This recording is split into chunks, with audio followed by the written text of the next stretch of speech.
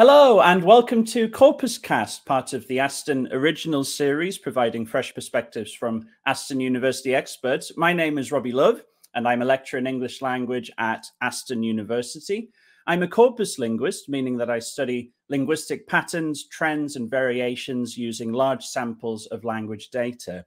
On behalf of the Aston Corpus Linguistics Research Group, welcome to the show. Now, Corpus Cast is the show all about corpus linguistics and what it can do for society.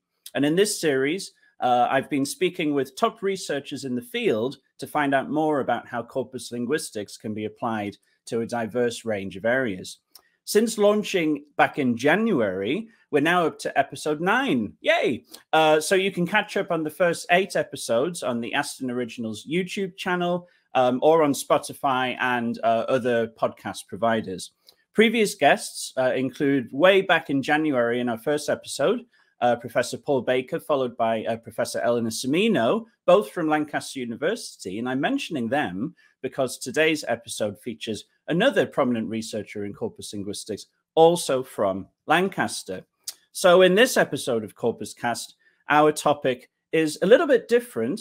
We're not looking at uh, corpus linguistics applied to a particular discipline of research, but actually about uh, an initiative to train more and more people in the methods and theories associated with corpus linguistics, an online course that was developed by Lancaster University. My guest is Tony McEnery, Distinguished Professor of English Language and Linguistics at Lancaster University and uh, Changjiang Chair at Xi'an Jiaotong University in China. Uh, he's published widely on corpus linguistics and is the author of at least 18 books, uh, including Corpus Linguistics Method, Theory, and Practice with Andrew Hardie, and the forthcoming book, Fundamental Principles of Corpus Linguistics with Václav Brezina. Uh, Tony is known as the founding director of the ESR ESRC Center for Corpus Approaches to Social Science at Lancaster University and undertakes research using corpus linguistics in a range of areas across theoretical and applied linguistics. He's worked on projects in a wide range of languages, including Arabic, Chinese, English, French, Polish, Portuguese, and Spanish. And he's also known for developing the topic of today's episode, the very successful FutureLearn online course, Corpus Linguistics Method, Analysis, Interpretation, fondly known as the Corpus MOOC, a massive online open course, which I now believe is in its eighth year. Um, and it's the development of this course that I'll be discussing with Tony today. So I'm very pleased to welcome to Corpus Cast uh, my PhD supervisor, I should also mention, uh, Professor Tony McEnery. So, hi, Tony. It's great to see you. Thank you for Hello, coming. Hello, Robbie. Nice to see you again. It's good to chat. And um, I think this is going to be a really interesting conversation all about how this, uh, this online course came about. But before we get into that, I want to start by asking a little bit about your own uh, connection to corpus linguistics. First okay. of all, what does corpus linguistics mean to you? Well, I think you put it quite well at the beginning. It's about uh, studying language using large, hopefully well structured samples of language uh, so that we can say something about language as a whole based on our study of specific collections of language data. I like that. Very concise. Um, how did you get started in corpus linguistics? Well, it was quite a long time ago now. Um, I was working in actually computer science at Liverpool University, and I was working on a project where we were trying to develop expert systems, as they were called nowadays. I suppose you call it AI now, uh, to deal with people who were making benefits claimants, uh, benefits claims. And uh, at the time when you did that type of work, you were really working um, to craft rules for how you'd interact with people or use language. And it was very difficult and very error prone, to be frank. And one day I went into the university bookshop, picked up a book called The Computational Analysis of English, which had been done by Roger Garside, Geoff Leech, and Geoff Sampson. And I started reading it and I thought, what's this all about? Because it was doing things that weren't normally done. It was using mathematics, it was using samples of data in order to look at language. Lots of things you've been told that you shouldn't do, really. And I read the book. A, I was fascinated. B, I was just stunned by how successful the results that they generated uh, by breaking all the rules, so to speak, were. So certainly on my next trip up to Lancaster, I started to attend seminars. I remember I attended a seminar by Geoff on this, and I was really taken by it because um, it actually, if you like, rebutted many of the criticisms of doing this by demonstrating that it really added value. If you took this approach, you know, you could make arguments against it, and I've read all the arguments against it, but uh, actually, uh, it worked. So that's what really got me into it. Really hooked me. And do you think that you were at the time um, sort of relatively easily persuaded? Because my impression is that there was a period where there were people um, advocating for this approach, but there may have been a lot of resistance to this idea of um, treating language as data, so to speak, and, and oh, looking yeah. at large samples like that.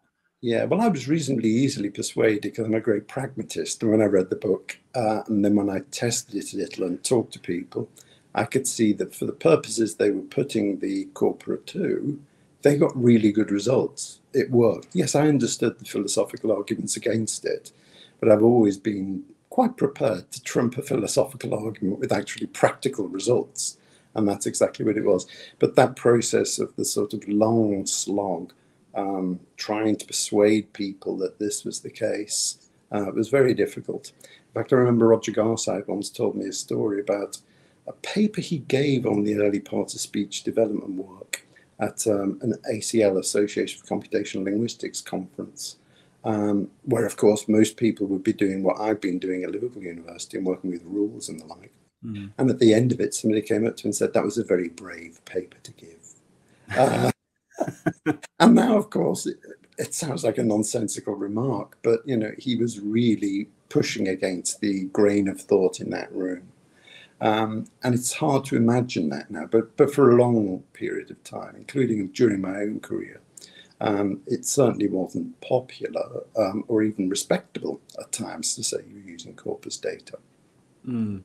So a lot has changed um, because you would you, yeah. you wouldn't see that sort of reaction to a talk like that now, really. No, I don't think you would. Of course, there are still people in the, I suppose, generativist tradition who might put forward some of those arguments. But even so, even there, you do find people using corpus data from time to time, and sometimes it's just based on misapprehension. I remember attending a talk by uh, Macaulay where he said somebody asked, in fact, I think it was Geoff Sampson asked him why he hadn't used corpus data, and he said there wasn't a corpus big enough for what he wanted to do.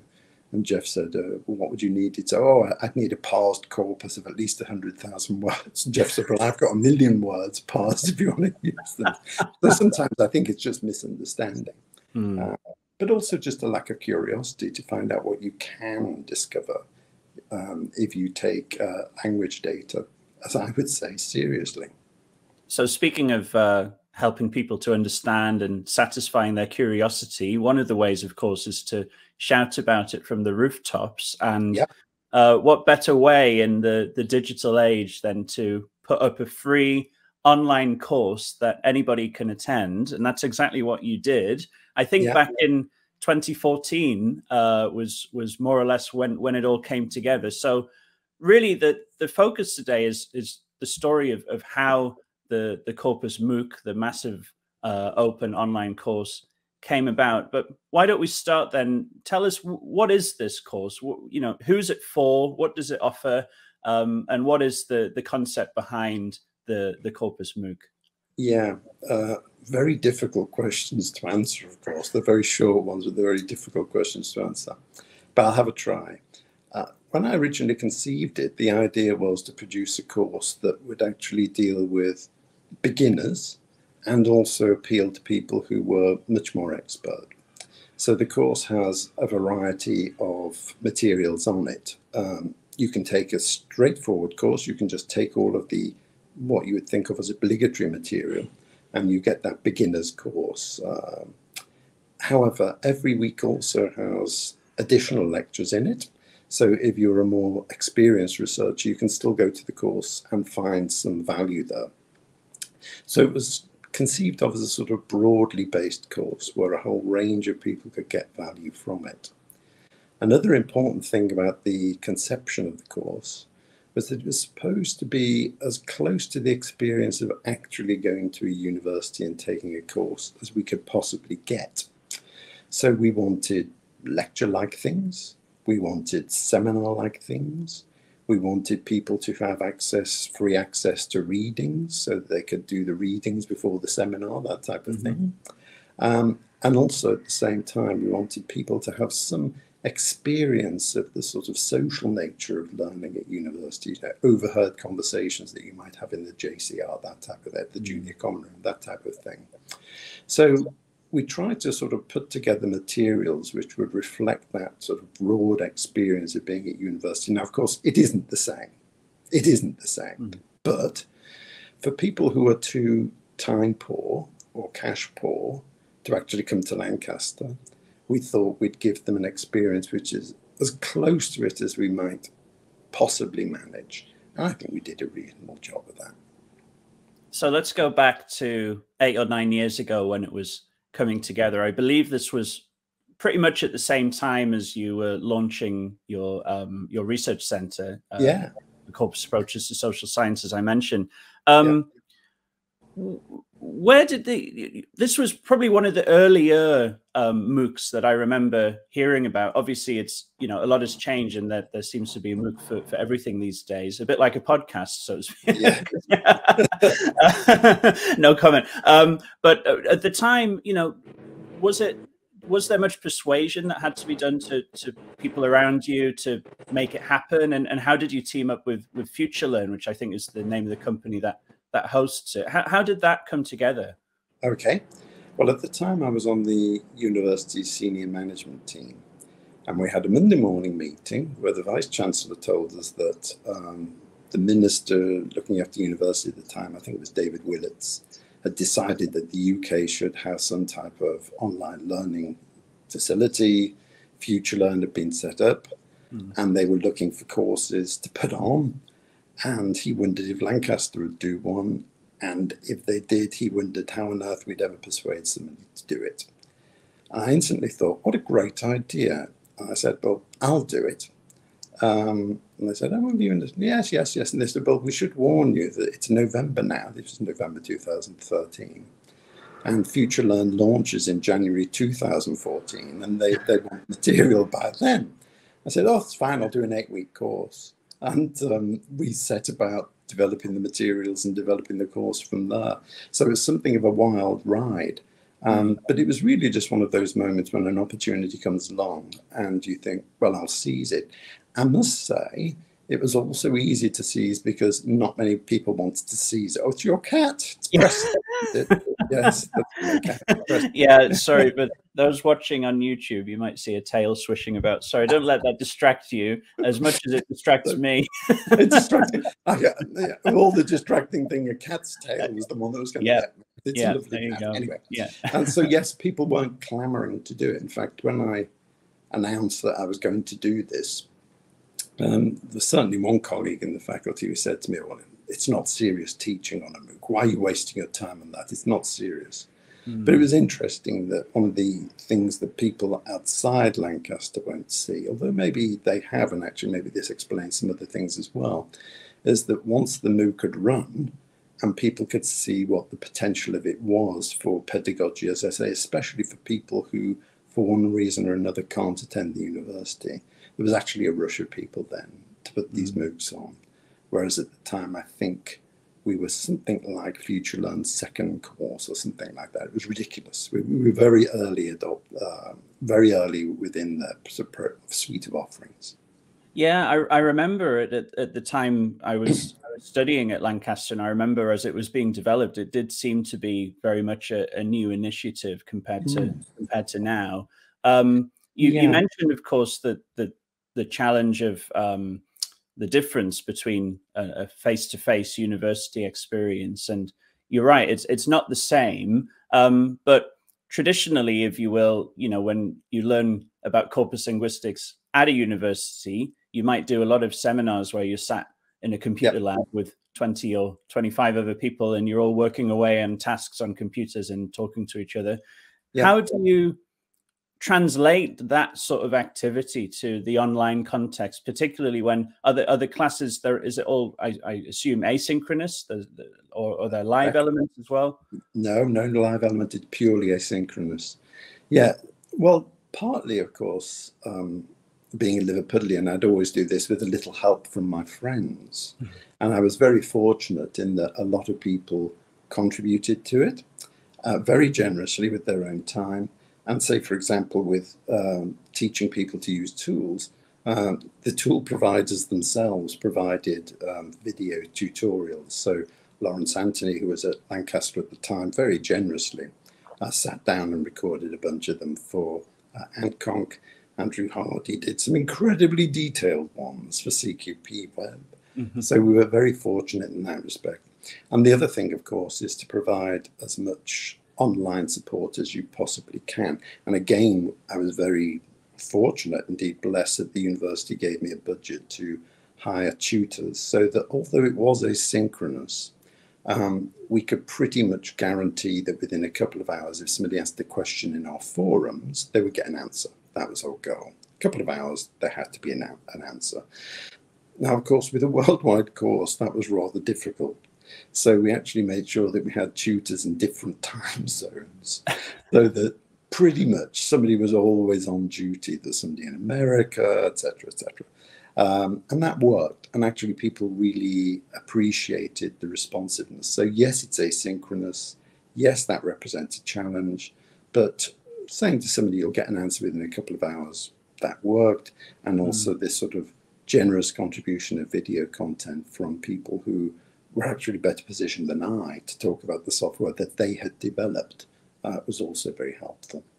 So, tell me about these um, the, the, the tutors you you just mentioned about how you tried to get coverage around the world. Who who yeah. were these people? Not not necessarily specific, but you know, were these other professors at universities, or were they uh, postdocs, PhD students, or just anyone you could find who would be happy to, to help out?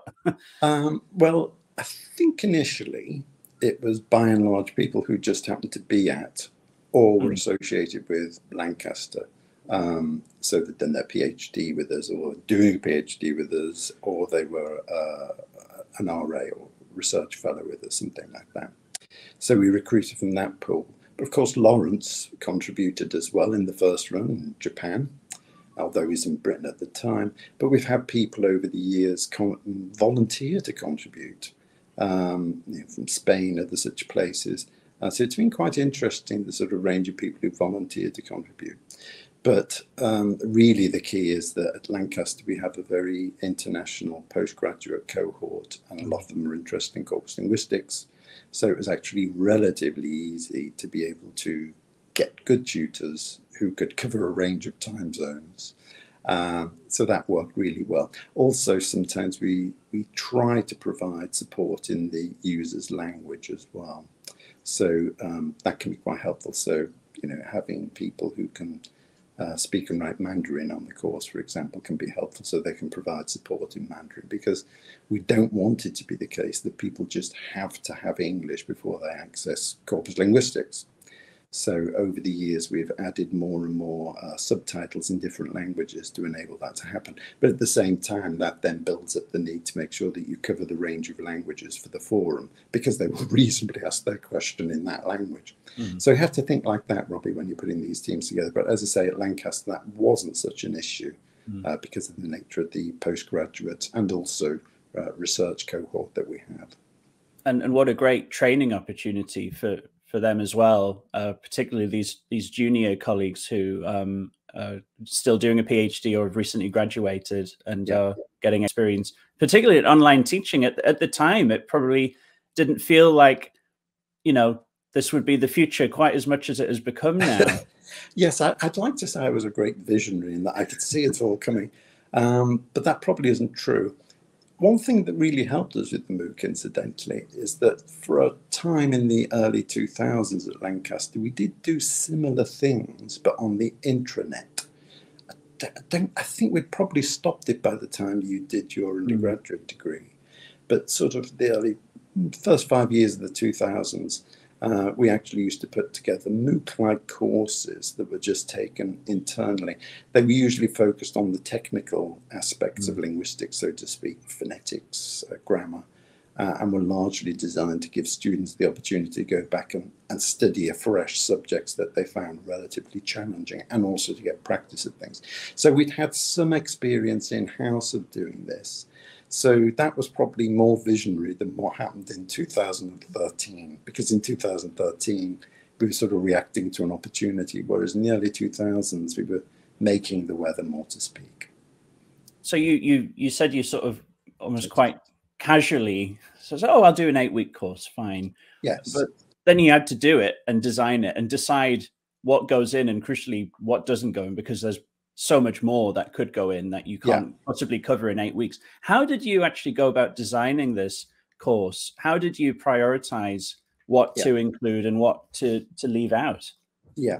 Well, first of all, thinking of the overall design of the course was very important before you even got to the content. Now, that might sound like a, a slightly strange comment because I'm not even talking about the curriculum. What I'm talking about are some of the known properties of MOOCs. Mm. So, up front, somebody said, Well, you know, with MOOCs, you lose something like 50% of the students each week. So, what are you going to do about that? Well, I'm quite a humble person, and my view is I can't imagine why it would be very much different for me, certainly in the first instance. So I'll work with it. I'll actually try and design the course around this. So, for example, the overall structure of the course goes a bit like this. The first week is designed as a sort of one bite take on corpus mm. linguistics. So the people who only take the first week will actually get an idea of the subject. And if they never come back, which is half of them, they'll actually leave with something useful in their heads. Mm. Now, after that, my humility only, only goes so far. I decided I was going to try and book the trend and actually keep more than 50% of the students. But that I'd have two speeds in the course, so to speak. We'd run through to week four, and after week four, I was going to have a cliff edge and make things more difficult and take the more committed students through to the end. So my vision for it is you'd have something that sort of went like that and then like mm. that. Yeah.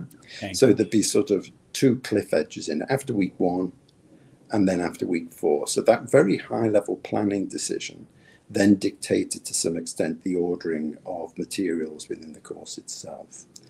I also knew that there were probably knew probably, that's great. I also knew there were probably topics that students were much more interested in. So I used those as bait towards the end of the course for them to stay with us. So I motivated that. So lots of thinking like that went into trying to book that trend after week one. I knew in week one you couldn't do so much in a week that would really grab them that they'd stay in bigger numbers than usual. But after that you could. Then actually in terms of content it was easy. We we teach corpus linguistics in a couple of ways, undergraduate, postgraduate. We had summer schools, we could draw on some of the materials for that. So we had lots of sort of structured materials that we could use as inspiration uh, for developing the curriculum. So that part was really easy. And then, as I've said, for things like the seminars and tutorials, people chipped in, and that was really a great help. So we're back in 2013, 2014. You've had the idea, you've worked together with FutureLearn. You've designed the program, made all the materials, recorded all these videos and everything, yeah. all these readings together. Now you need to actually recruit students. How did you go about, you know, telling people about it and, and encouraging people to apply, particularly with this vision of it being a worldwide, you know, freely accessible endeavor? Yeah, that's an interesting one because certainly the orthodox thinking at the time was FutureLearn would help with this. Mm. And FutureLearn, of course, are very helpful. Let me emphasize that. But I, thought, well, I'm skeptical at this point about that claim for two reasons. One, they're a startup. I think they're still sort of establishing the comms operation. So I had doubts about how easily they would reach out. Also, just in talking to the Future FutureLearn people, um, I sense that the their heart or interests lay elsewhere. Mm. Um, they weren't so familiar with what we were doing. It took some explaining to get through to them. So I thought the likelihood of them being able to reach out to the community that we want to access is probably quite low. So what we did is we used our own social media feeds because we realized that because people like myself, Václav, etc., have social media feeds which are actually quite tightly focused in terms of content. You know, I talk about corpus linguistics and linguistics related things and very little else. Mm. We realized it was a good channel of communication, so we used that. And indeed, later on, with some of the surveys that we did of people who took the first course, uh, we realized that we had recruited by the by uh, quite well through social media as opposed to people just bowling up to the FutureLearn website. And if I had more data, I would have suspected that the dropouts would have been ones recruited through the FutureLearn website and the mm. people who persisted were mm. ours, but that's a guess. so uh, social media was very, very helpful because of the nature of the social media channels that we had access to. So tell me about that, the reception to the first run of the course. How did it how did it go? What did people think of it? Um, well, I think FutureLearn were amazed because it was incredibly popular and also it was their most international MOOC. You know, I think they thought that there were topics which were just more likely to get the numbers and which were more likely to excite people internationally. Whereas my thinking was that if you or the place you work are very well known for something, and you manage to get the message out to the right audience that you're doing something like this, it would be very popular. And it, mm. well, I think I was proved to be right. So I think for the first run, I think we got something like 20,000 registrations for the course. And about 10,500 people actually showed up in week one. Wow. So uh, into the heads of 10,500 people, I managed to pour that important nugget in week one, which was the sort of idea of corpus linguistics in a nutshell. And that was quite helpful. But it was quite exciting, I've got to admit, uh, at the time. I was sort of calling people like Laurence Anthony or Andrew, possibly even you through to my office saying, look, the numbers are going up. And, you know, this started around 3,000 and then just became increasingly exciting as it went higher than that. So, yeah, it was pretty exciting. And indeed, it went so well that FutureLearn got us to remount that course again that year. That was a year when it ran twice. Ah. And we got slightly fewer numbers second time, but still a very large number uh, for that second run, which I think happened in the November, October, November, something mm. like that.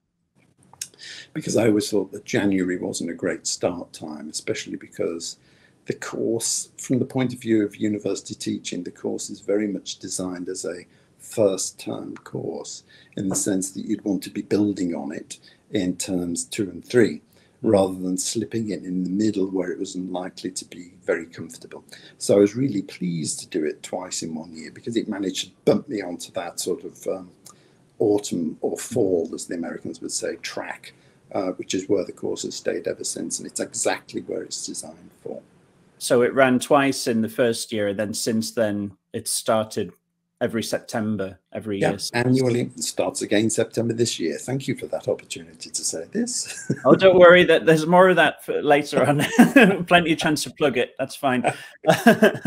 um, I think one one of the, the the really fun features of the course that I remember you doing at, at the time um, was you conducted a series of of sit down interviews oh, with oh, yes. academics uh, in the field from all over the place. Not not so dissimilar to the sort of thing that that we're doing now. Although I think at the time you did them actually face to face. Yeah, um, yes, I did. It was a good opportunity you, for socialization, apart from anything else. yeah, yeah. I mean, they, they look. You know, the people that you spoke to, I'm sure you had a great time. Um, do you have any sort of particular memories of, of individuals who you you got the chance to speak with? Any fun stories or or yeah. you know, how was that period? Because you must have done them all within quite a, a short period of time quite intensely. I, I, did. I added a few in the couple of years that followed, but most of them were actually done in that first 12 months or so. Mm. Of course, it was a very, it, for people who know me well, you do, you'll know this is uh, true. It was a rather homespun affair. I had a, a home video camera yeah. and a tripod, and I used to wander around with that in the Sainsbury's bag. And then when we were ready, I'd sort of set it up. No special microphones yeah. or anything like that, yeah. just set it up. Sometimes it would go in and out of focus, but nobody seemed to notice. And before mm. I tell any stories, I'll, I'll say that's a really important point. Nobody noticed the sort of amateurish production of that because the content was great. Mm. And it was interesting after the first run of the MOOC, uh, there's a survey that's sent to the students And uh, they were asked about the production values and got really high scores for production values. And actually, I put no effort really into doing anything glamorous. In fact, I was against it. I wanted it to be just like a university, talking head lectures, etc., mm. and sort of uh, slightly ropey video work. Um, and because of the nature of the content, the students thought the quality of the production was very high. But in fact, it clearly wasn't, you know, in, in technical terms. Yeah. Anyway, so it was a bit of a homespun affair. In terms of memorable stories from it, well, there were all sorts of things. I think Mike Scott stopped off on his motorbike at the university in his leathers, and he had to change out of those before we had the chat. And then he got back on his motorbike and whisked off down the M6. That was quite a good one. Um, the conversation with Geoff Leech was a very long one because we'd known one another for a very long time by that point, and, and that conversation slid off into a general chat. So mm. if people watch that, it split in two on the course because it went on for so long. Um, that really was probably the most naturalistic one I did, largely because Geoff just forgot the camera was there. In fact, there's a slight edit in one of them because Geoff rushes off screen to get his notebook because he used to carry a little notebook with him mm. uh, in which he jotted interesting examples of language use as he went around and he wanted to find this notebook and it was in his jacket across the way. So he just went off screen. I thought, oh, we're filming, but I won't tell him because it would break yeah. the moment, you know, the magic. Yeah, yeah, yeah. Uh, but that was very Geoff. He just forgot, you know, he was focused on language, so everything else was forgotten. And he mm. sort of went off screen and got that. Interestingly, also, it might sound counterintuitive, but there are some very happy memories I have of doing the interview with uh, Adam Kilgarriff, mm. who was dying at the time. He had cancer. Mm. And when I'd written to him, he, I thought he'd just say no. Mm. Um, but he said, yes, as long as you can come to my house. So I went down to Brighton, um, which was pleasant enough in itself, found Adam's house, had a great time chatting to him. Um, he was ill, you know, it was obvious mm. he was not very well. Uh, but we had a really nice time, and it was nice to connect with him one more time, mm. or rather, two more times, because halfway through that interview, unbeknownst to me, the battery on my home camera ran out. oh no! So when I got back to the hotel and discovered this, I had to write back and say, "Thanks, Adam. That was great, but." Is it possible I could come again tomorrow? and we could do the last half. And he was very game about it. He said, Yes. We both dressed in the same clothes. Brilliant. He, he, uh, his wife had made me a cup of tea. So we got the tea in the same cup, and I drank half of it and put it down in front of me before it began. But the whole thing was nearly ruined on the way there because on the way to his house, I don't know, it was a sort of sixth sense. I looked up and I saw this seagull above me and I dodged out the way because it dropped this little message almost right on top of me. And it just missed my jacket. And I thought, oh, thank heavens it missed the jacket because that would have been a definite giveaway. Or shirt, I think it was a shirt. Anyway, so wow. yeah, the, the, the, interview with Adam actually was huge fun. It was just nice anyway as a sort of end mm. piece, you know. Um, well, knowing one another. Mm. Um, but it also it's just full of entertaining incidents like that.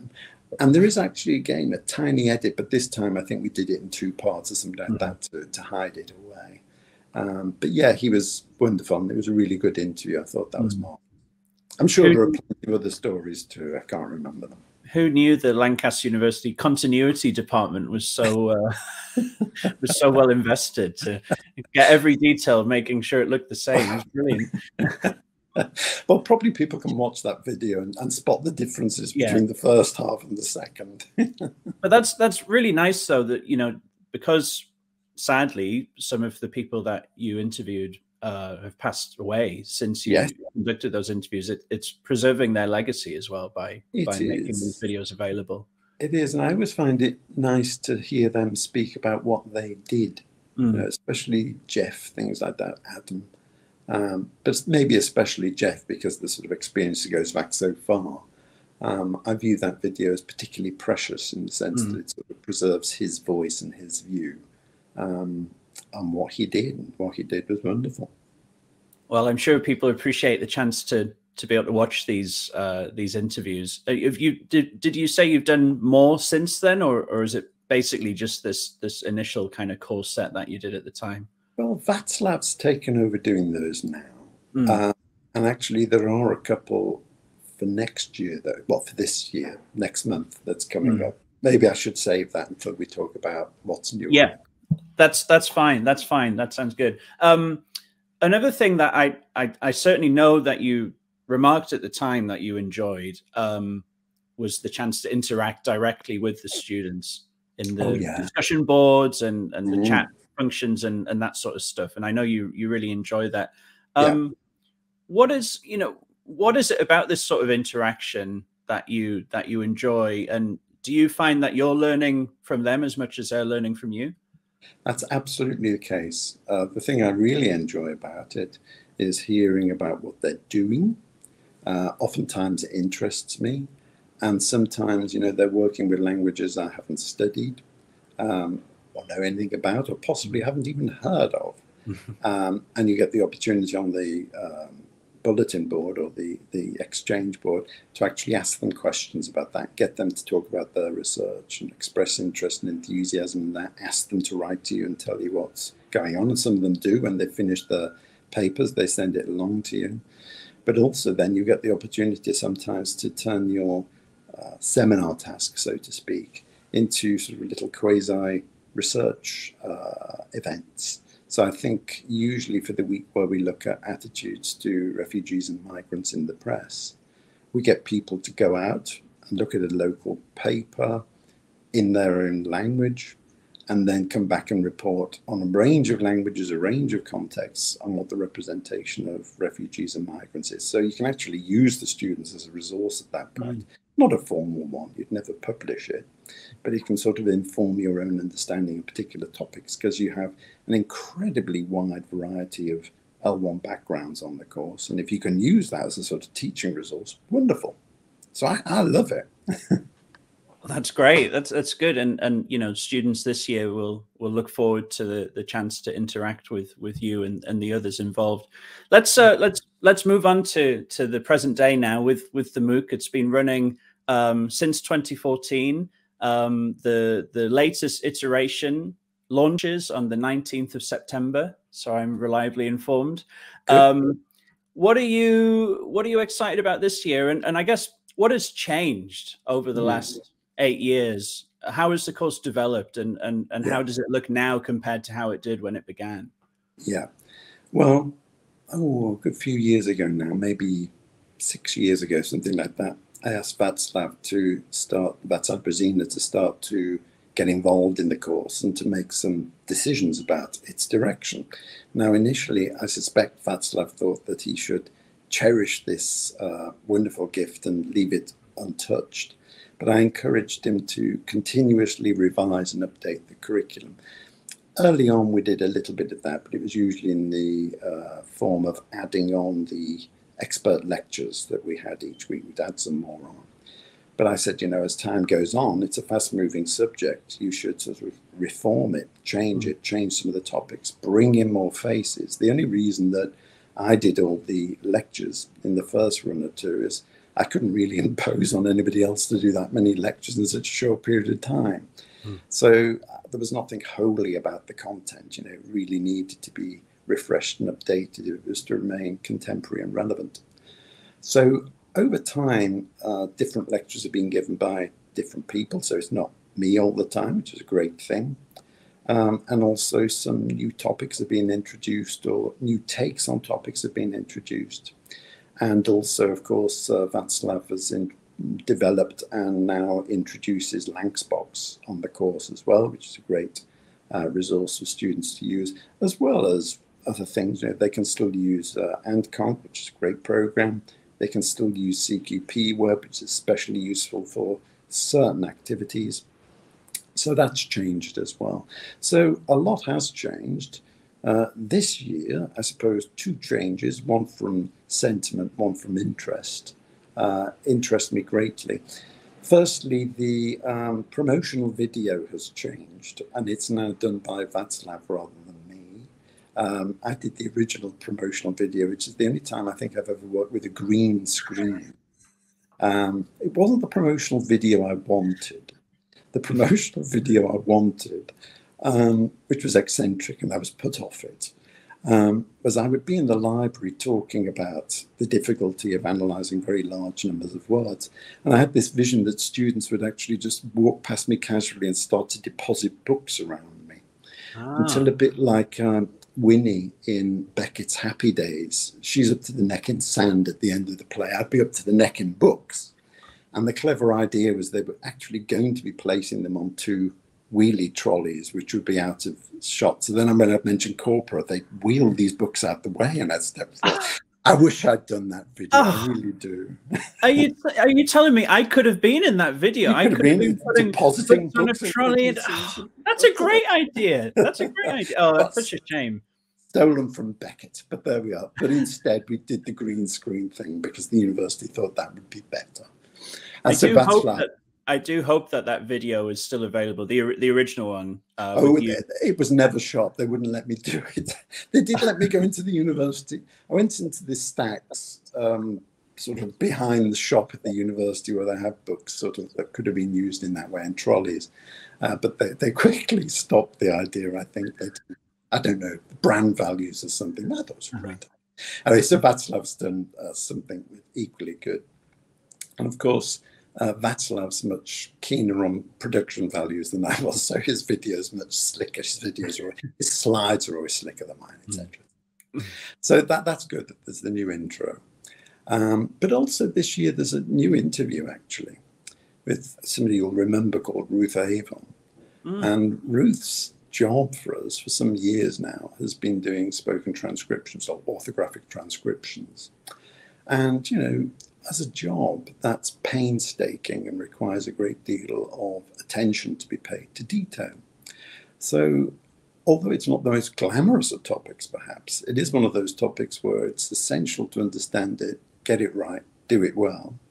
Um, and the talk is all about that and her experiences of doing things like transcribing the Trinity Lancaster corpus, for example. So I think uh, that conversation with Ruth, I think, is probably the highlight of new material for me uh, in the course this year. Well, I look forward to uh, to signing up and and and having a look at that because uh, I remember Ruth well, and and she's yeah. wonderful and yeah. Uh, a great asset for you. Well, if team. you do sign up, actually, yeah, everything you said about Ruth is right, and you'll get to see her. But also, it probably isn't your first time of signing up. And in that respect, actually, the refreshing of the course also um, shows another advantage in that we have students who come back year after year and take the course again, partly because the volume of material, the optional material we produce is too large for one year, so they come back and consume it again, but also because of the refreshing of the curriculum, people come back and take it again. Some of them are like old friends. I think they've taken it four or five times. I wow. say, "Oh, you're back."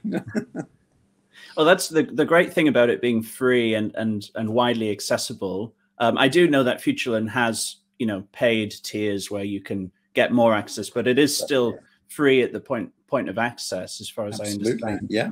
So and you the, have people coming back. Oh yeah, and I've maintained my distinct lack of interest in charging people for it. Yes, FutureLearn do. I understand why they do. That's their business. But uh, we've always made it very clear that the materials themselves to somebody from, I don't know, Afghanistan, Iraq, wherever, uh, should remain free at the point that they connect with them. You know, additional things that they may want, they may have to pay for, like certificates, etc. But the content that we provide to them is free. So now it's been running for several years.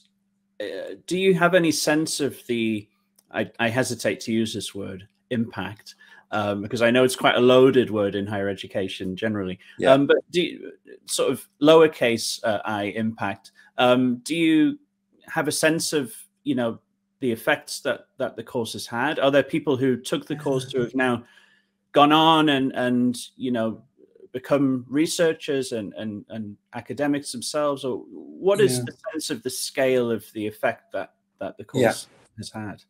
Well, the scale, of course, can be measured in a range of ways. Um, we wanted a course that was primarily oriented towards the postgraduate market.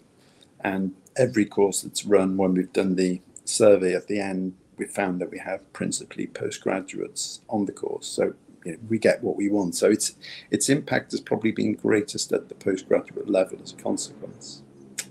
Another way of thinking about the impact is in terms of geographical spread, and that was very important to me um, because I wasn't desperately interested in the idea of letting people know about corpus linguistics who could find out about it very easily anyway, or who could attend a local university and find out about it easily anyway.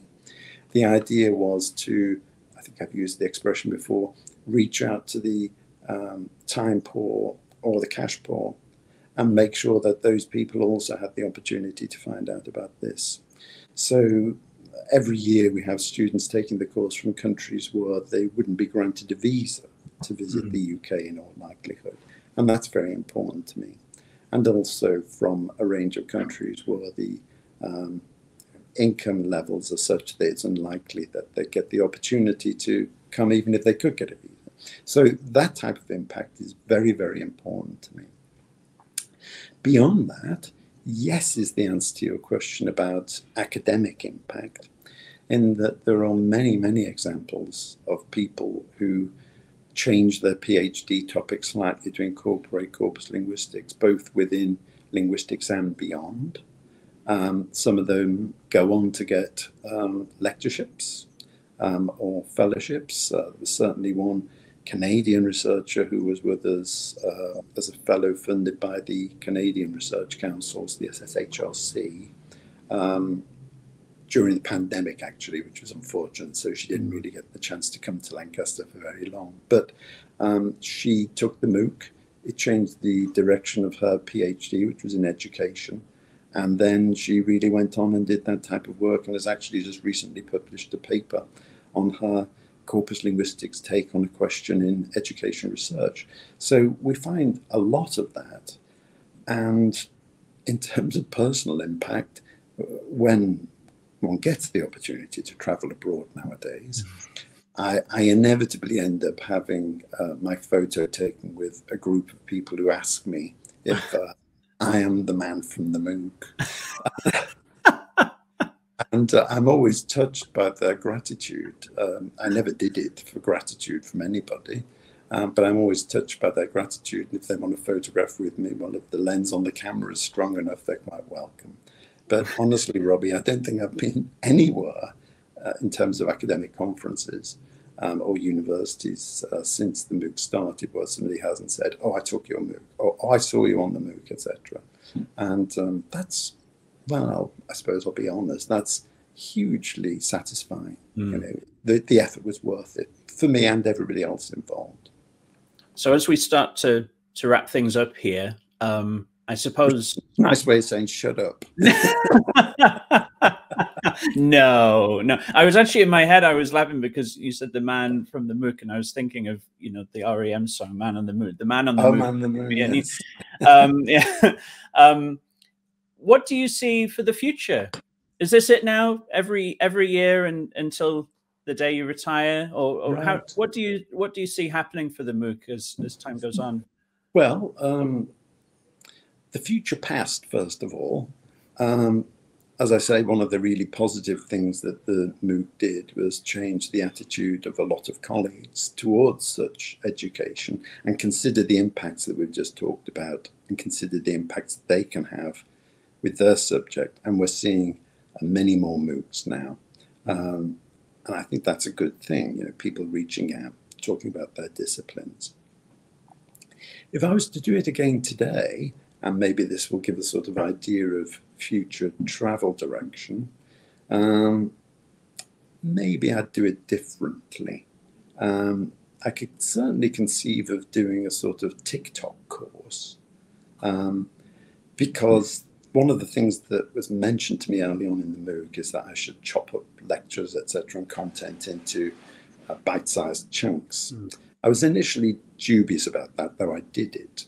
But it was very interesting when we got some of the early surveys back, and a lot of people were as they may be doing for your podcast, listening to it on the bus on a smartphone, that type of thing, or watching video on a smartphone. Mm. So I, I, really got at that point why bite-sized chunks were the way to go. Um, and you know, with something like TikTok, you could imagine doing sort of two-minute videos on corpus linguistics um, or any other topic for that matter. So it's definitely doable. Um, so I might sort of you know change the mode in which I did it, and may not even work with a partner like FutureLearn. Just go ahead and do it. I'm not going to, by the way. So if you want to go ahead and do it yourself, please feel free. But you know, as these sort of um, media platforms change and the possibilities associated with them change, um, so does the um, pedagogical opportunity. So that would be something I'd consider. For me personally, I think that the MOOC as it stands will continue to run because it has a very steady enrollment rate. Mm. In the early days, certainly when we got the big numbers, um, the question arose as to whether there was a large pool of unsatisfied demand and two or three runs of the course would drain it, that there was no fresh input to it. So it's a bit like taking water out of an aquifer. You know, yes, you can get the water out, but it really doesn't go back in fast enough. So one day you'll hit the dry rock and that's mm. it. But no, this is more like something where initially there was a large pool and there's actually a, a fair refresh of that pool each year. So, you know, I don't think I'm telling state secrets to say that we pretty much regularly get 5,000 registrations a year for the course still Mm. And this is many years later. Mm. So, yes, there was that initial large pool, shrank down, but seems to be that the sort of supply feed to it is about 5,000 people a year. So, so that's good. So I think the future is pretty secure for the MOOC. In terms of online education that I might do myself, as I said, I won't do the TikTok thing, though it's deeply tempting because I can see the possibilities of it. Um, and I think I'll probably call it a day on doing uh, online innovations of that sort. But who knows? Maybe there'll be another meeting where somebody says, Does somebody want to do this? Mm. And nobody else puts their hand up. And in a rash and impulsive moment, I say, I'll do it. and then I go ahead and do it, something like that. So it might happen. You know, the MOOC itself wasn't planned, so maybe my mm. future uh, activities in this area won't be planned. Well, I'll, I'll keep an eye on uh, TikTok and Snapchat and uh, see where you may pop up.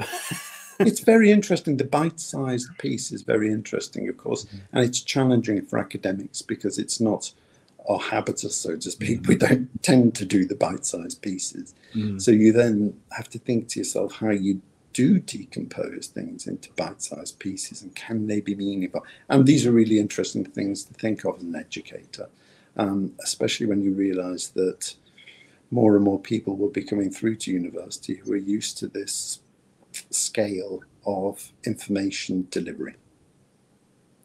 Okay, now it's time uh-huh. for our quick questions. Oh, right. Are you ready? Yeah. the same questions I ask each guest at the end of oh, each right. episode. It sounds um, dangerous. so here we go. Um, what are the biggest changes that you've noticed in corpus research throughout your career? Um, the increasing dominance of the quantitative, I suppose. So the uh, turn towards stats and the turn away from, turn away from, but the lack of emphasis on linguistic description and annotation. Brilliant. Question two um, what is the biggest misconception of corpus linguistics that you've encountered? Oh, that one's easy.